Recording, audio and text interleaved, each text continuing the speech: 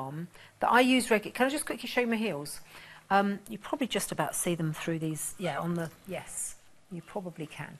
I use Margaret's hygiene, foot hygiene balm every single night if I can. And you, I showed you mine earlier. That is not freshly pedicured.